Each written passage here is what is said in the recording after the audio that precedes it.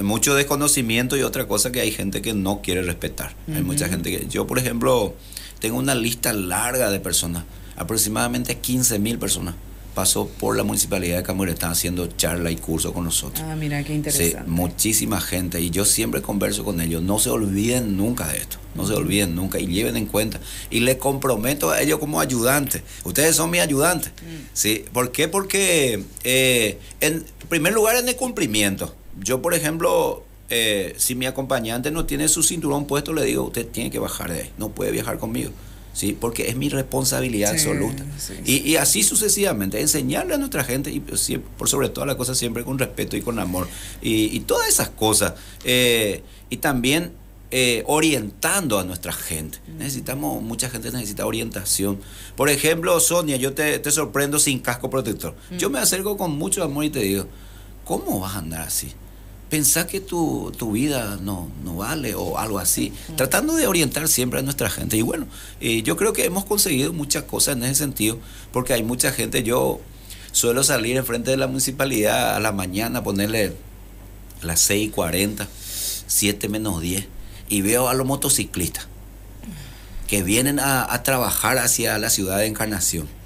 De 100 motociclistas, solo uno sin casco. ¿Sí? Impresionante. E, esa gente trabajadora que ya sabe su responsabilidad, que sabe que no puede andar así. o sea, que sabe que, si le demora a la gente de tránsito va a perder su tiempo. También, y es consciente de eso y también consciente seguramente de, la, importancia del uso, casco, del uso del casco protector. también en ese sentido siempre nosotros conversamos mucho con nuestra gente. Y ahí estamos, Sonia, siempre haciendo cosas en Cambureta. Para prevenir siniestros o reducir riesgos, por ejemplo, ¿cuáles son los consejos que uno debe ir repasando permanentemente, aparte de lo que ya estabas mencionando, el uso del cinturón y el uso del casco?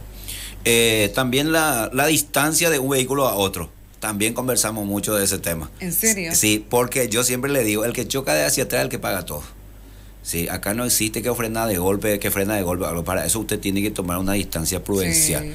Todas esas cosas nosotros hablamos siempre. Otra cosa que me preocupa mucho, Sonia, por ejemplo, el no uso de la silla de retención infantil. Los chicos van sacando la cabeza por la ventanilla y la ley es clara y te dice que antes de poner el movimiento, todos los elementos de seguridad tienen que estar, eh, tienen que estar en su lugar y usándose ya, por ejemplo, ¿verdad? Hay tres clases de silla de retención infantil a partir de bebé recién nacido. Todos esos temas nosotros conversamos cuando hacemos, cuando hacemos cursos y charlas. Y, bueno, y, tantas cosas, ¿verdad? Eh, lo que pasa que eh, la creación de la ley de tránsito es lo que trajo todo esto y casi es nuevo para nosotros. En el 2016, en el 2014 se creó la ley de tránsito y a partir de 2016 recién entró en plena vigencia y ah, te cuento que hay muchos municipios que hasta hoy día, eh, no sé, allá lejos, eh, todavía no implementaron estos temas. Y otra cosa que también la agencia no ha hecho lo suficiente porque tienen pocos personales, ellos necesitan personales para controlar. Ellos tienen que controlar para que esto se cumpla a cabalidad también.